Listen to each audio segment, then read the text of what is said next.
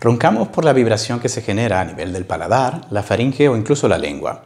Esto como consecuencia del desarrollo evolutivo y el paso a la bipedestación. La laringe migra hacia abajo, ocasionando una estrechez, alargamiento de la vía aerodigestiva superior como efecto negativo y durante la relajación del sueño de la musculatura que ahí yace, ocasiona dicho eh, fenómeno acústico. A su vez, mm, en grado más severo, ocasionaría la, la apnea del sueño.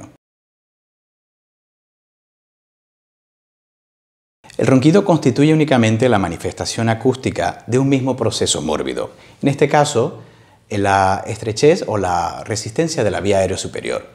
Las apneas del sueño se definen como unas pausas por el colapso o cierre completo de esa vía aérea, la interrupción del flujo respiratorio, durante 10 segundos o, más, ah, conllevando a una pérdida de la saturación de oxígeno y también a microdespertares. Estos no llevan memoria del evento y por lo tanto el paciente puede despertarse numerosamente en la noche sin recordarlas. Las últimas publicaciones vienen a confirmarnos algo que es ampliamente conocido en el ámbito médico, y es que la apnea del sueño tiene una influencia altamente ah, nociva en el desarrollo de problemas cardiovasculares, en este caso hipertensión refractaria a tratamiento, desarrollo de fallo cardíaco, eh, arritmias, incluso enfermedad cardiovascular cerebral. Por otra parte, mm, la somnolencia que genera la falta o deprivación del sueño constituye un riesgo alto para accidentes viales y a su vez, que no es por eh, infravalorarlo, también ocasiona problemas intrafamiliares y ruptura de parejas.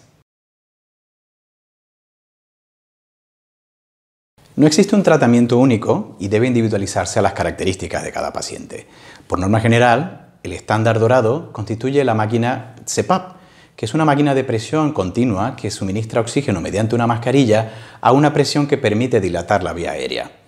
Sin embargo, como ocasiona ciertos problemas en tolerancia, hay diversas técnicas quirúrgicas destinadas a mejorar precisamente esa colapsabilidad de la vía aérea y cesando los ronquidos.